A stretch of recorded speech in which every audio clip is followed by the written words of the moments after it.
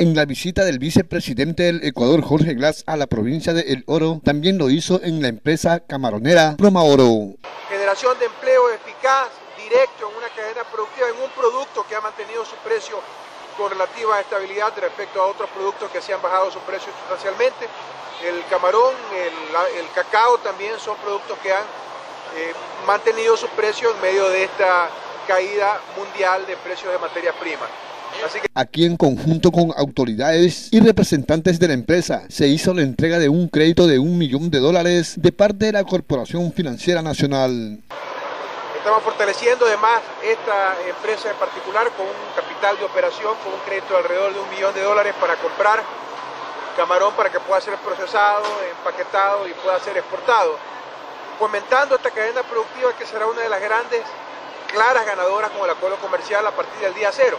Bueno, en esta empresa particularmente la CFN ha entregado más de 5 millones de dólares durante los últimos dos años, cuatro años, perdón, y este último crédito de un millón de dólares, cuya entrega simbólica del cheque fue de 500 mil dólares del día de hoy. Esta empresa genera trabajo a más de 400 personas y su producto entrará a exportación a los mercados europeos con cero arancel. Esto gracias al acuerdo multiparte. El fortalecimiento de cadenas productivas que además se van a ver beneficiadas por el acuerdo de la Unión Europea está precisamente la de la exportación de camarón. Hoy el camarón ecuatoriano de gran calidad paga un arancel de 3.6%, sin acuerdo pagaría el 12%, pero a partir de enero del 2017 pagará cero. El agradecimiento de quienes forman esta empresa no se hizo esperar. Nuestra empresa tiene ya tres años de, haber empezado operaciones, en el año 2013. Eh, hemos crecido todo el tiempo. Siempre ha sido nuestra visión no quedarnos con lo que empezamos, sino crecer. Y hemos tenido el invalorable apoyo de la CFN, tanto en la oficina Machala como en Guayaquil. Siempre hemos tenido toda la colaboración de ellos para que poder desarrollar esta empresa a los niveles en que estamos ahora.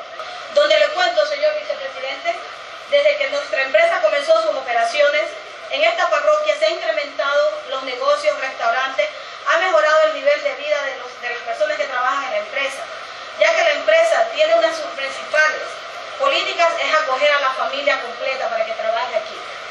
Espero, señor vicepresidente, que esta no sea la última vez que nos visite, porque acá siempre tendrá un grupo de trabajadores que lo respaldan y que lo quieren y que quieren mejorar el país. Desde Machala, provincia de El Oro, informe ciudadano La Patria Grande.